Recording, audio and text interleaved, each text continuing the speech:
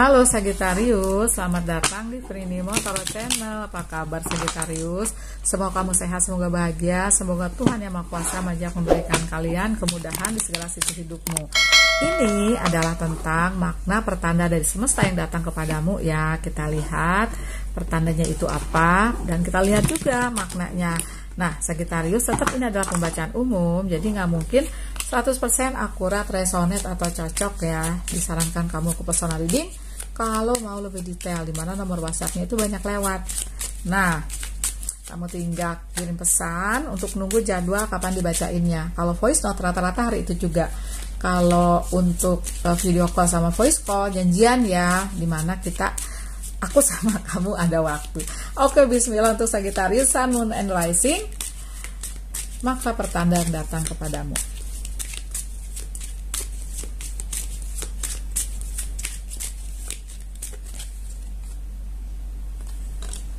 Ada di emperor oke okay. hmm. tiga tiganya mau keluar ya ada tujuh tong tujuh koin oh ada tujuh pedang oke okay. ada di hierophant and then ada enam piala oke okay, oke okay, oke okay.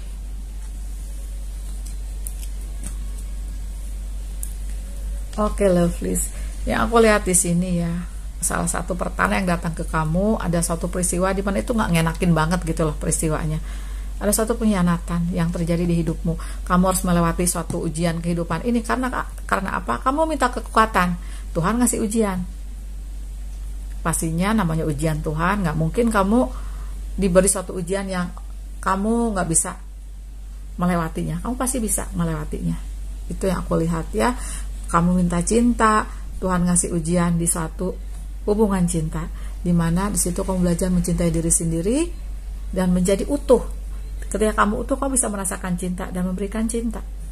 Dan kamu bisa meminta cinta yang seta, yang sesuai dengan apa yang kamu punya gitu loh, karena kamu udah utuh.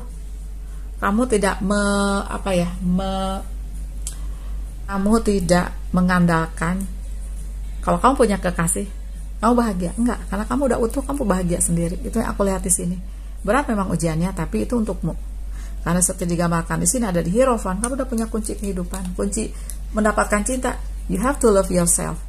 Kamu harus punya cinta untukmu, harus punya self respect untukmu. Itu yang aku lihat. Karena ke depan kamu akan kokoh seperti digambarkan di Emperor ini. Seperti juga digambarkan enam piala ini, kamu akan kokoh. Itu maknanya. Pertandanya yang aku lihat ya, yaitu tadi ada suatu pengkhianatan. Aku rasa dari pengkhianatan ini kamu berubah dengan tidak kamu sadari menjadi orang yang lebih bijak. Uh, dari proses tersebut aku rasa kamu jadi lebih mendengarkan kata hati lebih bisa mendengarkan kata hati. Karena apa? Intuisimu udah mulai terasa udah mulai sensitif.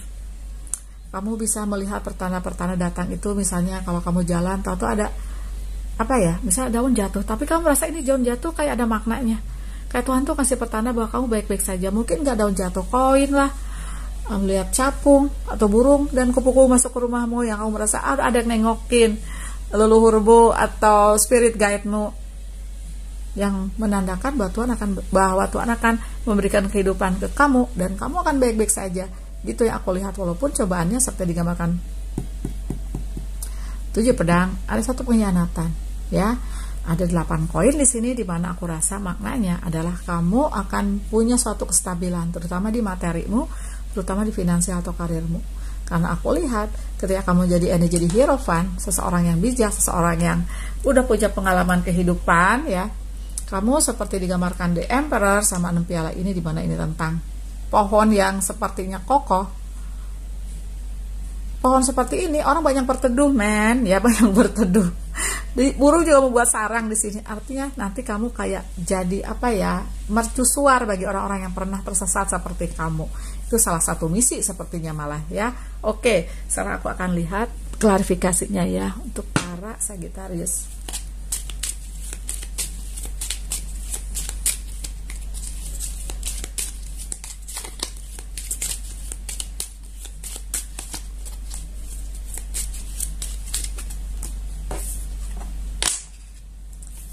Knight of Cups, Hangman. Oh my god, di Emperor kamu sampai dua kali.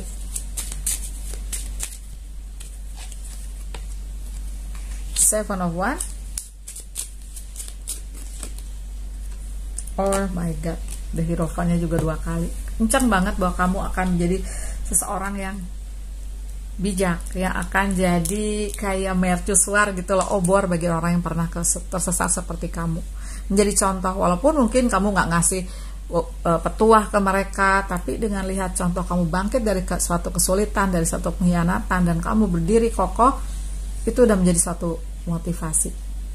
Karena kamu apa? Di sini juga aku lihat ada the hangman.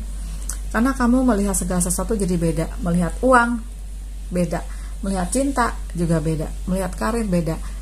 Kamu melihat itu lebih banyak tentang cinta cinta tentang kehidupan cinta tentang alam semesta. Itu yang aku lihat di sini. Nah seperti aku lihat di sini salah satu makna pertandanya dari pengkhianatan ini aku sih lihat ada suatu kedatangan cinta yang di mana cinta ini bisa dimungkinkan cinta yang benar untukmu gitu. Bukan cinta yang menguras energimu bukan cinta yang menguras materimu. Cinta yang sama-sama tulus gitu. Ya oke. Okay. hmm.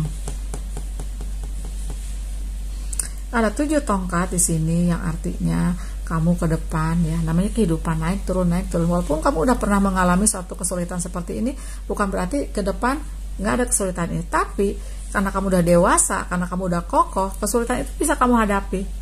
Makanya kamu menjadi obor kepada orang-orang yang pernah punya kesulitan. Kamu terus berjuang seperti itu. Ya nih ada tujuh tongkat. Kamu menjadi sosok yang kuat gitu loh yang aku lihat di sini. Pantang menyerah. Itu untuk para Sagitarius maknanya banyak banget kalau aku lihat di sini ya kestabilan eh, kedewasaan kebijakan wisdom yang kamu dapatkan kekokohan dan cinta gitu untuk para Sagitarius yang aku lihat di sini kunci kehidupan sudah kamu dapatkan dan itu akan kamu gunakan untuk hal-hal yang baik, untuk hal-hal yang tentang cinta. Gitu, it's all about love, love is all about ya. Makasih banyak ya Sagitarius sudah nonton, kasih love, kasih jempol, bye.